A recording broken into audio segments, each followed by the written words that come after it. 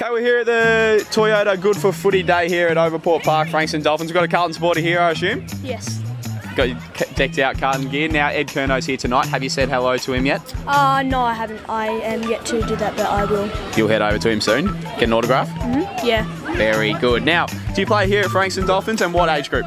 Um, I do. I'm injured at the moment. Yep. But um, I play in under 10s. Okay, give us a bit more of an introduction. What's your name and what jumper number do you wear and what's your favourite position? Um, um, I.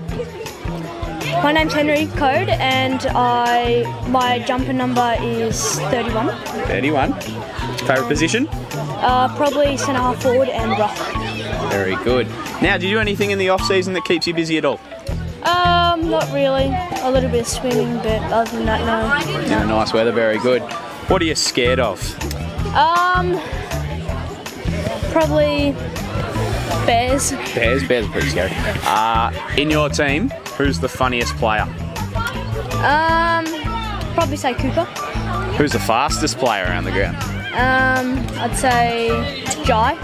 Oh, very good. If you had a million dollars, what would you buy? Uh, I probably wouldn't buy anything. I'd probably donate to a charity. That's very nice of you. You don't need to buy anything. Nah. Very good. All right, let's look down that camera in there and say, get your game face on. Go. Get your game face on. Awesome job.